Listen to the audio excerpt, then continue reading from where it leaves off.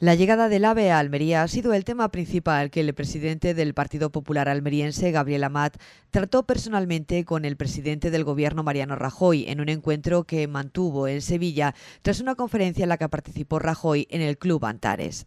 En dicho encuentro, Amat le transmitió al presidente del Ejecutivo las inquietudes que tiene la provincia sobre el desarrollo de los proyectos que hagan posible la llegada de la alta velocidad a nuestra tierra, sin olvidar las demandas para acelerar dicho proyecto por parte de los colectivos empresariales empresariales de la Cámara de Comercio y Asempal. Tras la reunión, Amat ha asegurado que el presidente del Gobierno conoce la preocupación existente y sabe de la necesidad que tiene Almería del AVE, porque conoce nuestra provincia. Amat apuntaba que Rajoy le dijo textualmente, Gabriel, conozco el problema y ojalá muy pronto podamos tener buenas noticias. Hay que tener en cuenta cómo estábamos cuando llegamos al Gobierno. Así, el presidente del PP de Almería explicaba que hasta ahora no se han podido hacer los deberes en clara referencia a esta infraestructura ferroviaria de gran importancia para la provincia. Que el presidente del gobierno la, conoce con exactitud y que el presidente del gobierno yo tengo la completa seguridad de que lo antes posible será una obra que,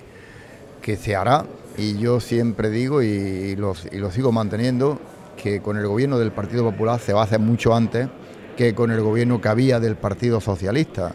porque no se sabe hasta cuándo se pueden hacer la obra y no pagarla. Lo que se hizo en la provincia de Almería se hizo y a ver cuánto pagaron y cuánto está pagando el gobierno de Mariano Rajoy, el gobierno de España. Pero yo creo que cuando hay poco dinero hay que priorizar. Una de las cosas que nos hacía falta y que nos hace falta y que, se y que lleva ya mucho tiempo de atraso es la autovía del Mediterráneo, que para el año que viene estará totalmente terminada. Yo creo que nos hemos borcado.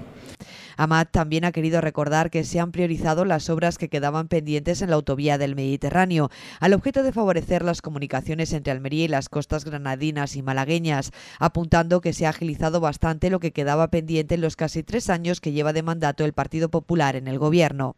Amat ha explicado que Rajoy está al tanto de las reivindicaciones de la Cámara de Comercio y de Asempal respecto al AVE, asegurando que él también está de acuerdo en que hace falta el AVE, pero que también está de acuerdo con Rajoy, ya que cuando cuando no hay suficiente dinero, se deben priorizar las inversiones.